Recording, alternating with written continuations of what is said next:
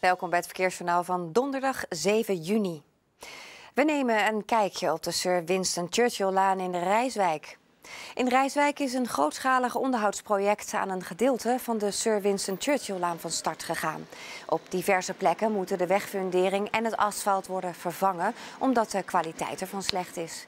Het werk wordt in fase uitgevoerd. De eerste fase van het werk duurt nog tot en met vrijdag 15 juni. De Sir Winston Churchill-laan is in de eerste fase afgesloten tussen de Populierlaan en de Jozef Israëlslaan in de richting van de burgemeester Elzelaan. De Jozef Israëlslaan is niet bereikbaar vanaf en naar de Sir Winston Churchill-laan. De omleidingsroute wordt met borden aangegeven. De invalide parkeerplaatsen binnen het werkgebied worden tijdelijk verplaatst naar de Jozef Israëlslaan of naar de Rembrandtkade. Fietsers en voetgangers ondervinden weinig hinder van de werkzaamheden. En dan gaan we naar Den Haag. De gemeente Den Haag wil het fietsgebruik stimuleren en de fietspaden veiliger maken. Daarom worden de fietspaden aan de Berestijnlaan voorzien van rood asfalt. Gelijktijdig worden onderhoudswerkzaamheden aan de trottoirs meegenomen.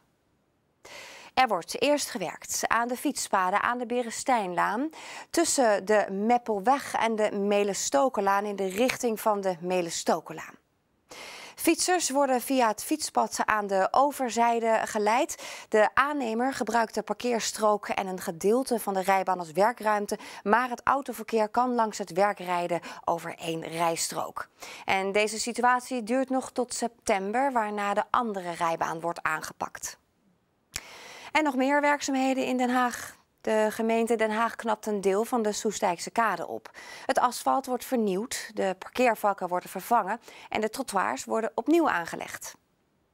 Er wordt gewerkt aan het deel van de Soestijkse kade tussen de Eskamplaan en de Loosduinse kade in de richting van de Loosduinse kade.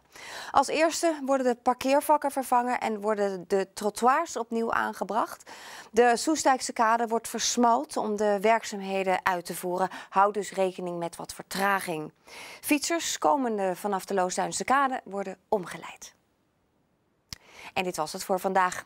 Kijkt u ook eens op onze website. U kunt de uitzendingen terugzien en de informatie nalezen. Het adres is omroepwest.nl. Heel graag tot morgen. Dag.